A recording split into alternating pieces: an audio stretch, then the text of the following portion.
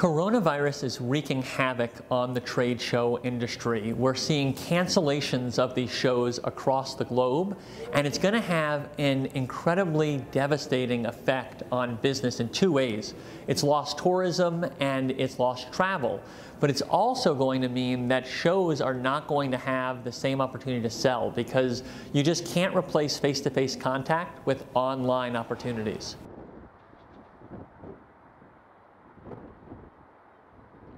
We're talking about billions of dollars of loss, and that is spread across individual communities, sometimes in weeks where communities will lose tens or even hundreds of millions of dollars.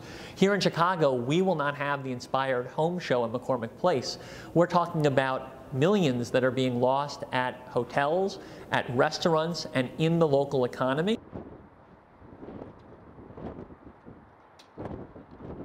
But when the challenge here is not people's literal demand that they want to come, but their fear of actually expressing that demand by getting on a plane and coming to a trade show. And so I think we're really at a loss for what economic tools we even have to try to rebuild in the context of this devastating effect.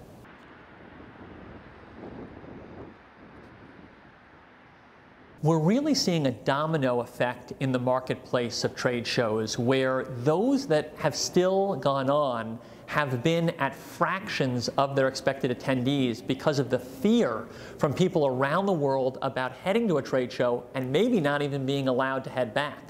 So now a lot of trade shows that are worried about having an embarrassing outcome are just getting in front of it and canceling altogether.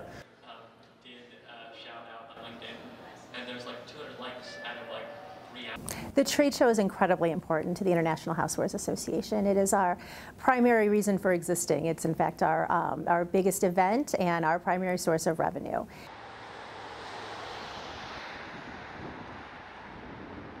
We've been hearing a lot from our exhibitors and from our attendees over the last several weeks about concerns that they had for their own safety and for the safety of the staff that they were planning to bring to Chicago.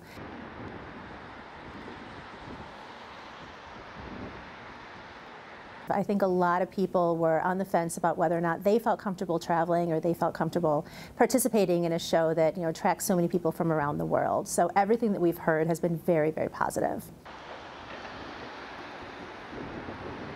The Inspired Home Show brings together 52,000 home and housewares manufacturers and retailers every year. So it's really an engine of commerce for the home and housewares retail industry.